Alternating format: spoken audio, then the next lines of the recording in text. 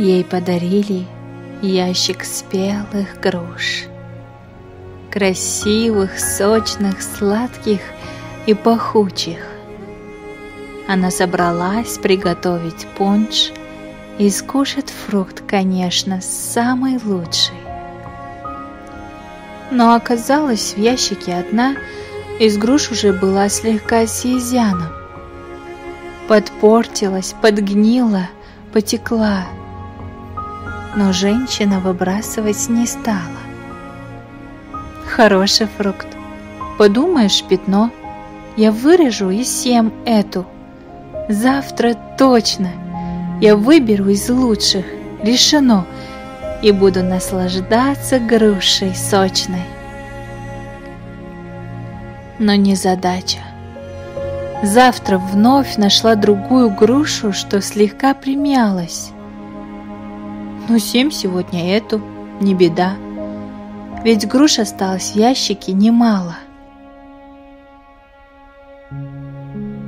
Все повторилось и на завтра вновь.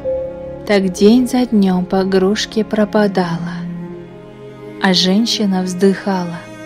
Ну потом, ей ни одной хорошей не досталось. Как часто мы вот так же на потом откладываем вазу, скатерть, платье. По сути, экономия не живем, но ждем особый день и жизнью платим. А время — невозможно задержать, остановить, на паузу поставить.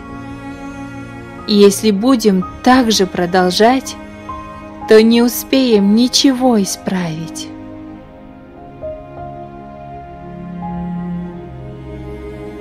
Мораль проста.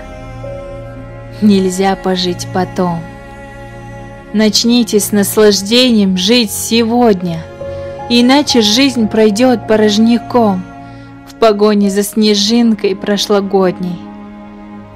Наденьте самый лучший свой наряд, На стол поставьте лучшую посуду, Начните смело сердцу доверять. Другого шанса лучше жить не будет.